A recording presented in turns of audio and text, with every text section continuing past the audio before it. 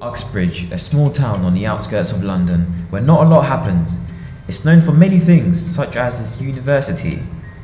That all changed when a series of horrendous events took place in the heart of its city. We're here in the heart of Uxbridge, where we received several reports of a so-called reverse pickpocketer. As you can see around me, people are terrified to leave their homes. We now have one question, where will he strike next? This individual's cold-blooded actions has affected many lives. The public have started calling him the reverse pickpocketer. He seems to be placing random objects in people's pockets and we still don't understand why. It is estimated that 1 in 10 people have fallen victim to this tragic outburst of events.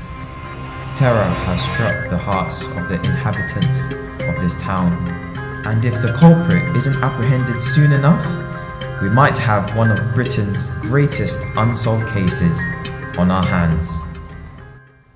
We've scheduled a meeting with the only eyewitness known to be involved in this case. Due to security reasons, we agreed not to disclose her identity, thus keeping her anonymous.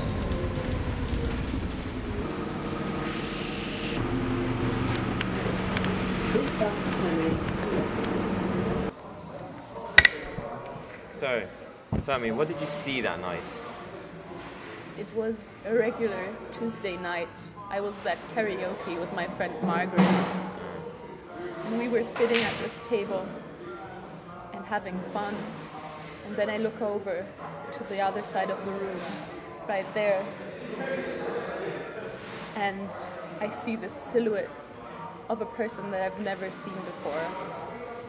And I see him reaching inside the pocket of a random girl. And she doesn't notice him. And I'm about to turn to Margaret to tell her what I saw when he vanishes. And I I don't know I don't know where he went. I just see the girl and she notices that there's something in her pocket and she takes out this sock and starts crying. And that's when I knew that I'd seen the reverse pickpocketer. His attacks are swift yet ruthless, and tend to leave his victims baffled and broken.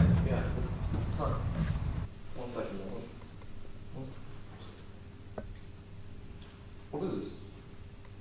Did you do this? What is this?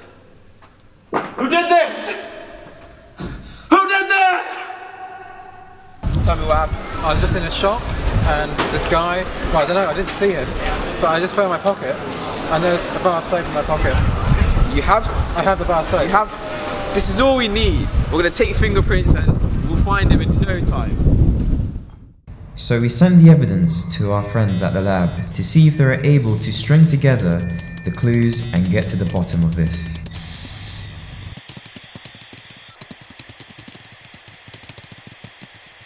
Okay, Dr. Romanov, what have you got for me? So we've collected some DNA samples of the soap and we're still running the tests. So far the results are inconclusive, but as soon as, as we get something, you'll be the first to know. Sadly, we found nothing, so the attacks continue. Anyone could fall victim. You might not even notice right away, but we can assure you the effects are devastating.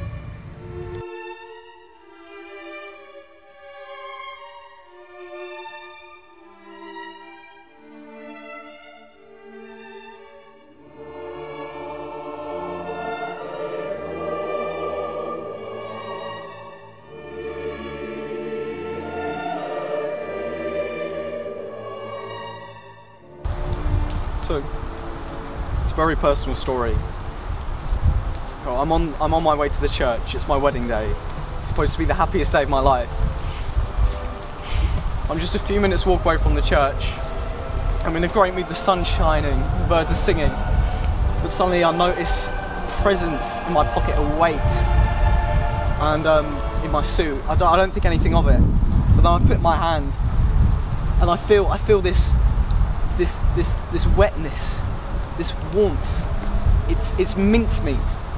There is mincemeat in my suit pocket.